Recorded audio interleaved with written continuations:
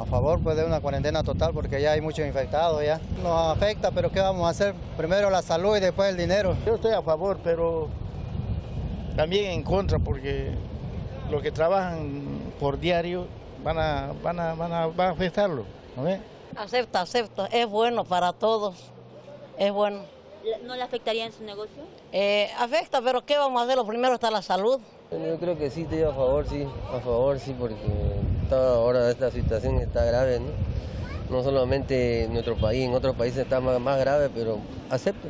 Me parece una buena medida por seguridad de toda la población, para el bien de nosotros, de nuestras familias, de nuestros hijos, de nuestros hermanos, para cuidar la salud de todos, ¿no?